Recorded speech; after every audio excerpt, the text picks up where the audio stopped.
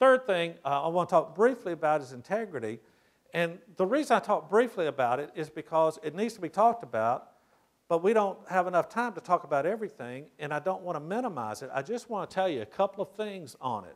Our integrity as leaders and within our organization, our home, and everywhere else, there's two key things to start off with. Number one is that you're always leading, people are watching. That's not the question, are they watching? What the question is, is what are they seeing? You're always leading. And the second thing is that everything counts.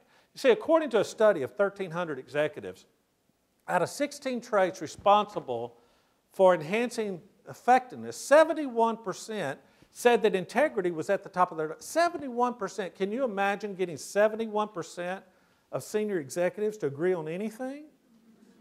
71%. That's pretty awesome. Then, if you look at uh, the people that you work with, your vendors, their number one expectation is just do what you say you're going to do. Consider it done. Do what you say you're going to do. Then, if you look at your employees, they'll say that the most important thing that they need from their leader is that integrity.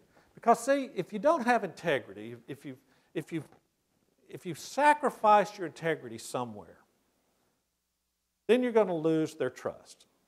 And once you lose their trust, you're going to lose the ability to develop them to be what they want to be. And once you lose your, your ability to develop them, then you lose your followers. And once you lose your followers, you got nobody to lead anyway. So it really all starts with our integrity. Do we do what we say we're going to do? When we say we're going to do it, can they consider it done?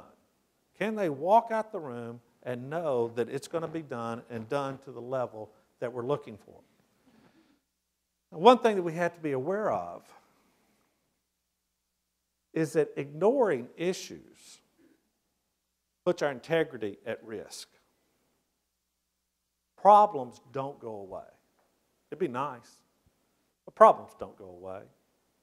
And if you're ignoring an issue, and there's a, there's a story in the book about this uh, that, that you'll probably be able to relate to, but if you're ignoring an issue, that issue will just get bigger as opposed to going away.